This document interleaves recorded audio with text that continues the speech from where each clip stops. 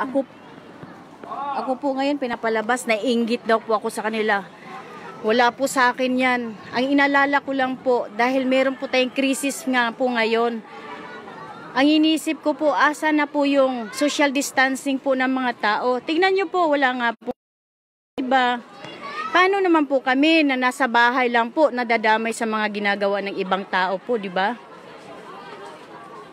Ito po, ito po sila ngayon. Ito, live ko na po itong ginagawa ngayon. Ito po, live po. Kanina po, video lang po yung ginagawa ko una. Yung inagaw po yung bigla yung cellphone ko ni Kapitan.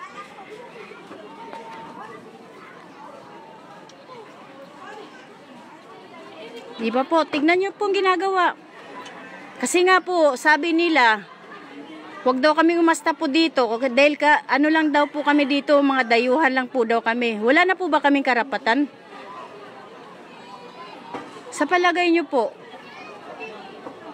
ako sumusunod po kami sa social distancing.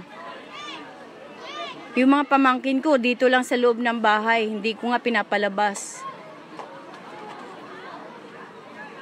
Daanan po yung bahay po namin ng mga tao dito. Napakaraming tao kanina dumaan dito sa labas ng bahay po namin. Kahapon pa po yan ng umaga. Namimigay ng form na Xerox copy si Kap sa mga ano niya. Dito sa ibang tao dito sa kalye po namin. Galit na galit po sila dahil kumukuha po ako ngayon ng video live.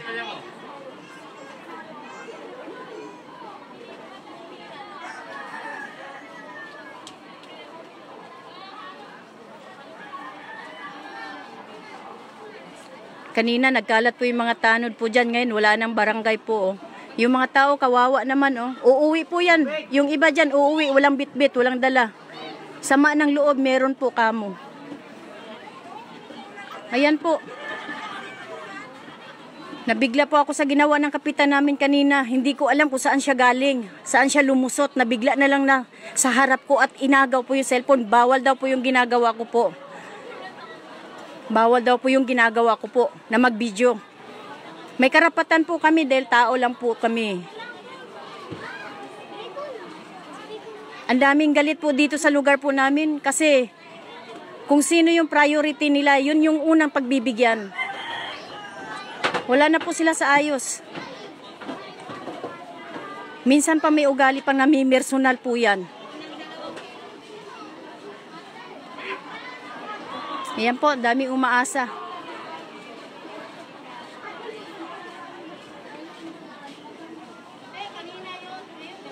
Oh, alam ko po, inista po yung bigayan po nila ngayon, oh.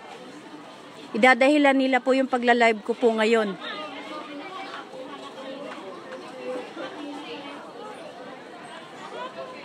Oh, marami pong ano, haka-haka po dito, maraming may galit po eh. Tampo, kasi pili yung binibigyan, hindi lahat na pagbigyan. Eh, dapat po, bilang namumuno po sa barangay po namin, dapat ibahay-bahay na lang nila para wala pong problema at susundin po natin yung social distancing. Wala po eh. Yung iba nga po, walang mga maso. Wala po silang mga mas. Gulat po ako sa kapitan po namin kanina, hinaras po ako, inagaw niya yung cellphone ko. Bawal daw po yung ginagawa ko at lintik daw po ako.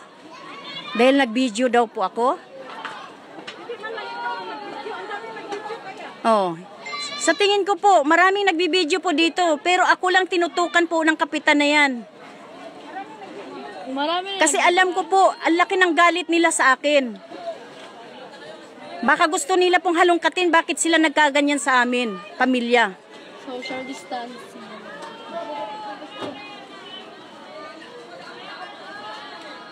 Hasa na po? Tignan nyo pong ginagawa po nila.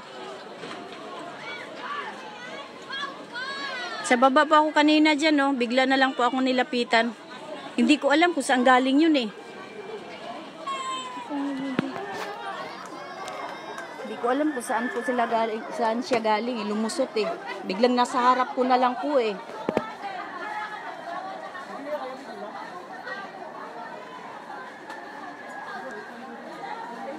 Oh, tignan niyo po, kaya po pa ba yan nila paalisin yung mga tao? Hindi na po kasi umaasa sa ipamimigay po nila. Opo.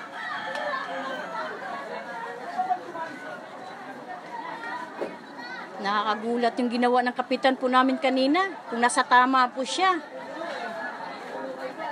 May freedom po tayo isa-isa. Pero bakit niya ako pinakialaman ngayon? Kagustuhan ko pong mag-video.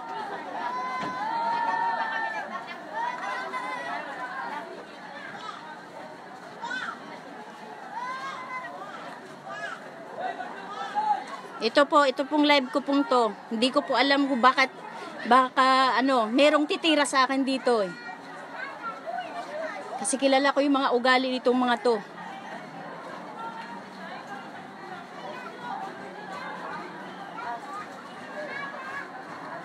Wala, hindi po sinusunod yung ano, utos ng ating presidente. Social distancing lang po ang pinakiusap ko namin dito. Dapat walang ganun. Tignan po, uwi yung iba, walang bit-bit. Ikong binahay-bahay nila, isa-isa yan. May mangyari bang ganito? Wala po.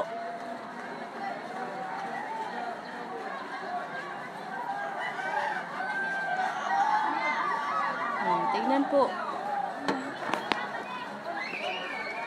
Hmm. Continuous ang pila. Hmm? Ito po yung nanay ko po, oh. Senior po, dinaanan lang po kahapon. Ayan po yung nanay ko. Dinaanan lang po kahapon. Harap-harapan po yan. Namimigay po ng form. Siya mismo nagbibigay ng mga form dito sa mga kapitbahay naming malapit sa kanya.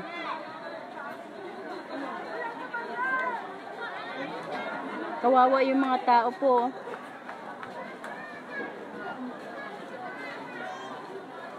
Dapat lahat bibigyan, hindi yung pinipili.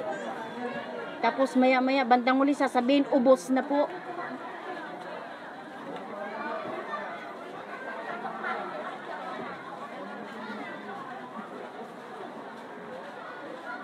Ayan po.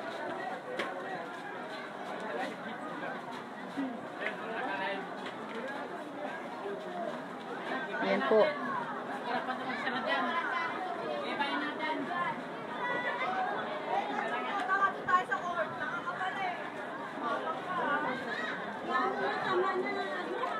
Yan po. Uwi po yung ibang tao na walang bitbit. Sama ng loob, meron po. Paasa.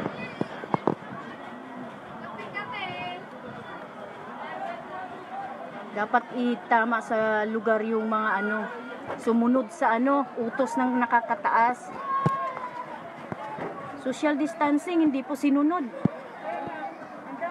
Tignan nyo po, oh, mga bata, napakarami mga bata po dito. Hindi nila masaway-saway po yung mga bata. Magulang. Kawawa naman po. Yung iba pinapaasa lang po. Uuwi luhaan. Dapat binahay-bahay po nila yan. Ako po, sabi nila kanina, ni Willie. Si Willie po yung sumisigaw sa baba po kanina. Naiinggit daw po ako. Ako, naiinggit sa kanila. Hindi po yun ang ipinaglalaban ko ay ang social distancing po natin na pinapatupad po ng ating pinakamataas. Asan po yung social distancing po natin ngayon? Wala po. Na, pinamumunuan po siya, siya na ngayon ng aming kapitan po dito. At hinaras pa ako kanina. Bigla niya akong inagawa ng cellphone kasi bawal daw po yung ginagawa ko. Galit na galit ang tao dyan eh. Di si- Kaya di sila pinapasok. Ayan po, yung mga tao po, nagagalit daw po sa akin kasi in-stop daw po yung bigayan. Sila dyan. Eh kung nasa tamang proseso po yan, pinamimigay nila bahay-bahay po. Kung gusto nila mamigay sa tao, bahay-bahay po dapat, di ba po? Ang ginawa po nila ngayon, anong ginagawa po nila? Nagpapila po sila. Asan na po yung social distancing po dito sa lugar po namin? Ayan po, matino po kami. Sumusunod kami sa utos ng nakakataas po sa atin. Pero anong ginagawa ng ibang tao? Sumunod sila sa kapitan dahil nagugutom na yung iba. Eh kung binahay-bahay po nila yan, wala po sanang problema. Dapat sumunod sila kung ano yung batas. Kunin mo kami. Ha? Kunin mo. Ano. Sobra na po eh. Kahapon pa po yan eh. Tama po ba yan? Bakit naman siya ba? Kunin mo. Tama po ba yung ginagawa ng kapitan po namin kanina? Hindi ko akalain na biglang sumulpot sa harap ko. Hindi ko po alam kung saan siya galing. Saan siya galing lumusot. Inagaw niya yung cellphone ko at pinabubura niya po yung videos ko. Takot po siya. Kasi may ebidensya po akong hawak ngayon sa lugar po namin na sa 45 Bacoor. Dito po ako ngayon sa may plaza. Yung bahay po namin nandito po. Sa gilid lang po ng stage po ito. Kanina po nagbibideo po ako, sa baba lang po ako. Hindi ko akalain na bigla akong iharas ng kapitan po namin. Hindi ko akalain kung saan gagawin niya sa akin yon. At sabay sabihin niyang lintik po ako.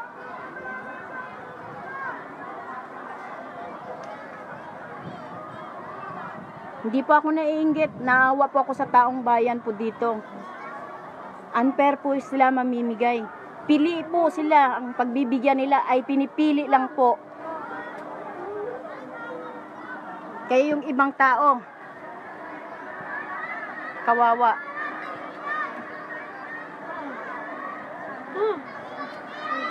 Ngayon, para magalit po yung tao sa akin, anong dahilan po nila? Hanggat hindi ako titigil sa pagla-live po ngayon, stop yung pamimigay nila. Paasa po yan, paasa. Nilipat na yung pila. oh. Ano rong? Ang daming tao? Isang gabi po, muntikan may sunog din po dito sa lugar namin. Ano ba yan? Wala naman sila nakukuha. Wala. Kasi, ano yan? Wala naman ah. Pinapila lang mo, pinalabas.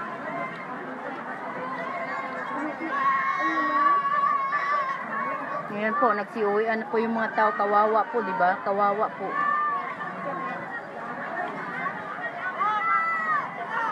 Dapat po bahay-bahay. Dapat po bahay-bahay ang pamimigay po. Bahay-bahay.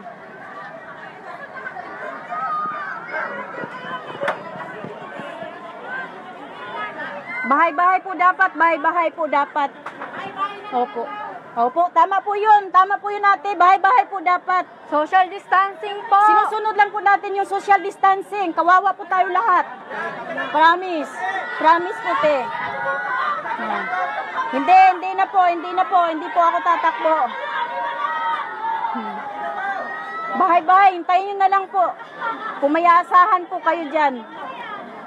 Thank you, thank you. Sumunod po tayo sa gobyerno po natin. Sumunod po tayo.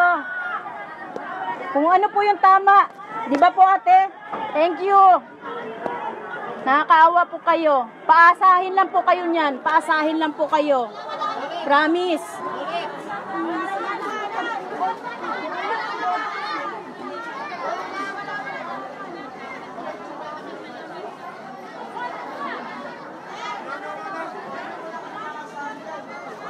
Promise. Kawawa po kayo dyan. Tingnan nyo po, oh, kawawa yung mga tao, oh, parang mga kiko, sunod-sunuran po kung ano yung utos ng nakataas po dito sa barangay po namin. Ayan po, oh, kawawa po sila. Sikan. Siksikan na po. Dahil akala po may maasahan po sila.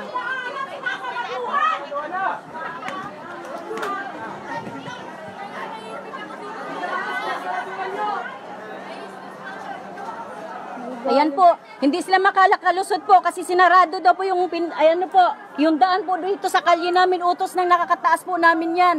Kasi ito, iskinita po yung daanan ng bahay po namin, sinarado po.